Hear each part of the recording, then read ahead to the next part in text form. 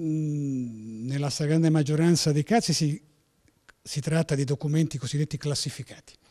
Cosa vuol dire classificati? Nel senso che eh, nel momento in cui non solo l'intelligence ma anche altre amministrazioni dello Stato hanno in mano un documento che ritengono per ragioni di sicurezza nazionale o per altre ragioni di dover tenere eh, riservati, hanno quattro livelli di classificazione. Il più basso, il più tenue e riservato.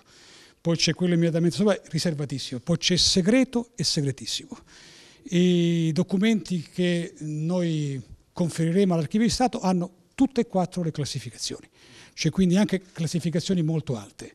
E naturalmente, insisto, eh, non bisogna fare confusione tra segretazione di un atto e segreto di Stato, sono due cose totalmente differenti. Un atto viene segretato come attività autonoma dell'amministrazione, il segreto di Stato invece viene apposto eh, dal governo perché si ritiene che la diffusione eh, di quelle notizie possono danneggiare la sicurezza nazionale. È del tutto evidente che non ci può essere nessuna sicurezza nazionale di fronte a un attentato terroristico, di fronte a una strage, perché quelle sono attentati alla sicurezza nazionale, quindi non ci si può richiamare alla sicurezza nazionale per segretare atti che invece sono, servono invece a disvelare un atto di aggressione alla sicurezza nazionale, perché tutti questi diciamo, eventi di cui ho parlato sono evidenti come atti di aggressione alla sicurezza nazionale. C'è da aspettarsi delle